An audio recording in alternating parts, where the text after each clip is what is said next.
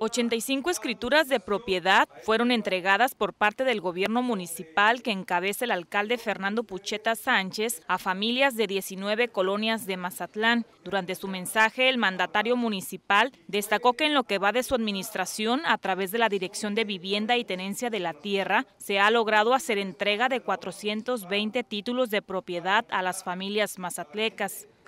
También destacó la importancia de que las familias tengan su patrimonio. La entrega de escrituras de propiedad eran terrenos propios del municipio, así lo aclaró. Son de 19 colonias, pero son escrituras de, terrenos propios del municipio, ¿no?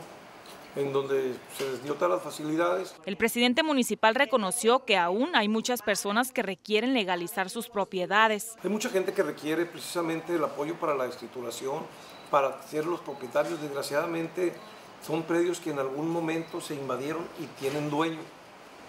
Y no, han, no se ha logrado llegar a un acuerdo con los, con los dueños. Las familias que fueron beneficiadas son de la colonia Salvador Allende, Antonio Toledo Corro, Ampliación Lomas de Lébano, Montebello, Fraccionamiento Rincón de Urías, entre otras. En representación de las familias beneficiadas, habló la señora Tomasa Castro Díaz, quien agradeció por la escrituración de sus hogares. Con imágenes y edición de Carlos Castillo, informó para las noticias TVP Adriana Tirado.